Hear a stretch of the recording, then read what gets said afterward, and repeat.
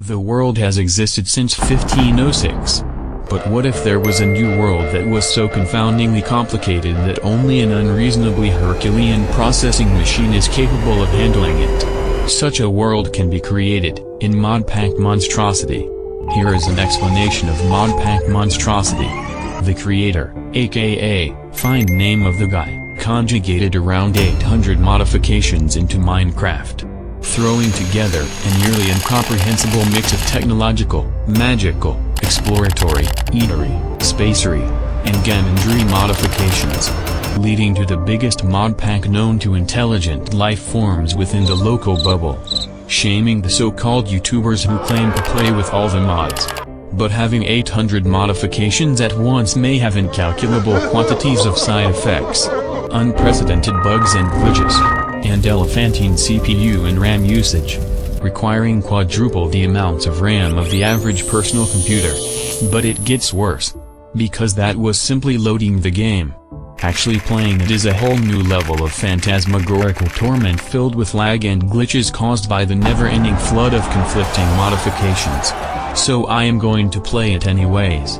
Due to the limitations of current technology, I decided to allocate 8GB of RAM to ModPack Monstrosity, about one-third of the recommended amount.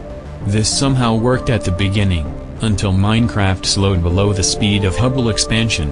Until it perished due to a memory issue. So I have come to the unfortunate conclusion that ModPack Monstrosity is unplayable with my current specs. Luckily however, I have found a similar monstrosity, but with more reasonable PC requirements. Its name is Greedy Craft. Named after all the overly enthusiastic modification consumers, amounting to over 500 modifications adding nearly everything possibly conceivable into the game. With 2,000 hours spent on making it work. This is not exactly surprising considering this was manufactured by the gaming addict known as T-Creo who I remember from nearly three years ago for having the highest Wolf Slayer experience in the entire Hypixel Skyblock community. Nobody knew what he did after he quit. But here he is. Skyblock is truly escapable. Anyways that is enough T-Creo lore. I have decided to begin a playthrough of Greedy Craft to test the gaming limits of this gaming computer. The nightmare begins, after beginning the load. Luckily there was an eloquent loading screen and several useful tips to increase mental fortitude. Even though some of these tips were basically the credits and controversial opinions on the internet. After being mindlessly entertained by random tips for 13 minutes, I was in. I was instantly harassed by millions of new buttons and fancy music. Upon seeing the settings, I was drowned out by hundreds of different controls to configure, which included a drop key that was already unbinded which is a reference to how billions of dollars are lost by accidental dropping in Hypixel. Upon expressing the desire to manufacture a new world, I was greeted by multitudinous world types ranging from normal to super tall skyscraper world and biospheres. But I didn't feel like it. This will be done in creative mode due to the trend of overly modded worlds breaking every 3 minutes, requiring admin assistance. What happened next was per sensory overload. I was instantly harassed by new notifications in each corner of the screen, and various new menus that documented every single aspect of my character, including skill points, skill investments, a Hypixel skyblock style scoreboard, and oversimplified health and hunger bars. I was also robbed of first-person mode. Only third person exists now. I was also born with a book that dumped several gigabytes of information at once, including the greedy craft lore, which was actually clickbait. But to balance out all this overstimulation, there were relaxing natural noises. Optifine and the pre-installed shaders also somehow worked with all these mods. But in the end, all of this combined did not destroy the computer. The singular mod that turned my GPU into a volcano, was a modification that made things blurry whenever I opened my inventory. Which did far more destruction than having 500 mods with shaders. Anyways it is time to begin technological progress. After transporting myself across the terrain I couldn't help but notice that Steve looked possessed while sprint jumping. There were also various other random changes. The game had 50 different audio-visual effects associated with pain.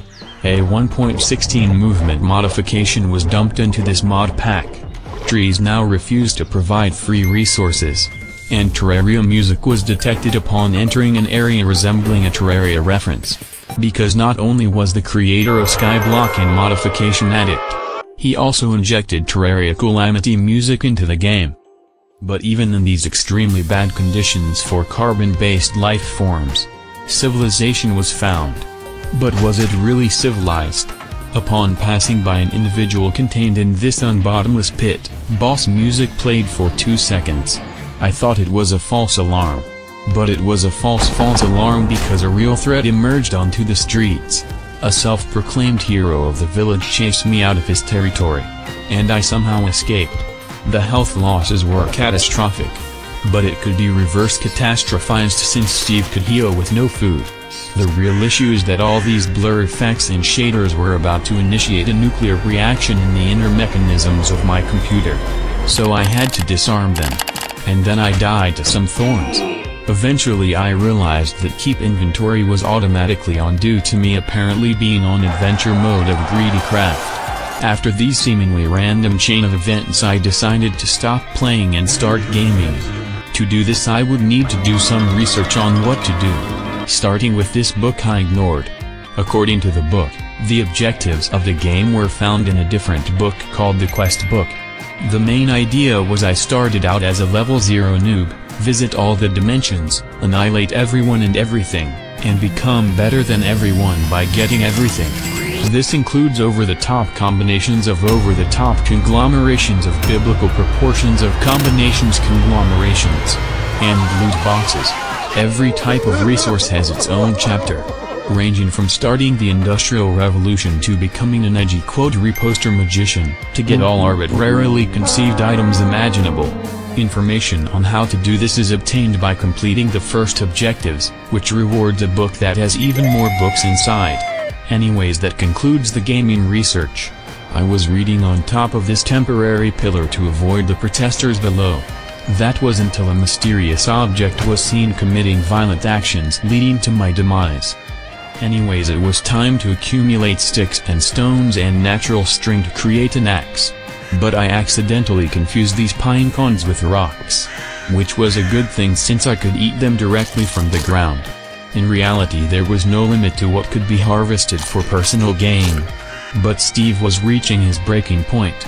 He refused to pick up any more objects beyond this point. And his back structure extended into the fourth dimension. This would not stop me from obtaining my industrialization tools however. Now it was time to transplant wood from reality into my inventory. Step 2. Constructing a headquarters to store all of these items. There were a variety of natural structures that I could inhabit, saving resources by not building from scratch. I looked at properties ranging from the marble fountain, the giant glass aquarium, the gaming computer-themed mineshaft, and the pathetic volcano. All of which had various technology inside. At first I chose to build my base on top of the pathetic volcano. And then I abandoned it. Because since I was now slightly richer from the random structures, I decided I could take on the hero of the village. But as it turns out, the hero of the village was nowhere to be seen. And the rest of the villagers were now more realistic due to something called Minecraft. Not only could I demand them to do stuff, but they listened without hesitation. My game theory is that I replaced the hero of the village. Everyone else just went along with it as I tested the patience of the villagers by constantly making reasonable demands. But then the possible happened. The 89th random game feature kicked in and led to me spontaneously combusting. Analysis of the footage reveals that I had apparently stepped on a landmine. The same happened for the villagers, who simply shrugged it off. I needed to obtain their powers. But how? That was when I remembered something. I began flirting with the villagers for experimental purposes, leading to being rejected 10 times in a row. So it was time for planned cyanodiazotidine sulfoxide. I clicked this button and they agreed to follow me. This was cut short when I accidentally triggered an armed invasion of myself, leading to a prompt death. And as I journeyed towards the place of the incident, the villager who was following me warped through space-time to fulfill their sacred duty. Proving immense loyalty. That was when I had a realization. You may have remembered the thorns that circumjacented the everywhere in here. These could not only be used against me, but also be used against those against me. But their biggest leftover upon death, was nothing. So poking them to death was rather pointless. Anyways after returning to the village I realized there were more than just NPCs to flirt with. The village also had NPCs whose only personality trait was having tofu. There was also expensive machinery left out in the middle of the streets. And a sign proclaiming that I was now in Rifila Lake. So all of these Rifilalguines were apparently tofu worshippers, with an entire house built out of tofu blocks, and storages filled to the brim with tools made from tofu, which were more efficient than wooden tools. I decided this was far better than the old base at the pathetic volcano. Meaning this was my new base. The items from my rampage of picking items up were now stored in this chest, allowing me to borrow items from even more places. This included borrowing the world record for largest naturally spawning smeltery. This also included borrowing all of these necessary societal resources including stone bricks and square papyrus, which the villagers kept out in the open. But all of this gaming was making me hungry. So I conveniently stumbled upon a rustic Minecraft-themed restaurant, with free food apparently. After that it seems I have visited all the tourist destinations in this tofu town. So I bade farewell to the Rifalaguans by communicating to them in their sleep. Also I forgot that I dumped a bunch of important stuff in the tofu stuff, which I did not realize at that time. I was on my own. The real world contained many other structures with unknown valuables. And by using the starting objects from the village, I will fight bigger enemies for even better objects. This was truly society. And already I found a worthy opponent. Leading into an epic three-dimensional third-person cinematic IMAX 4K mob fight. I emerged victorious.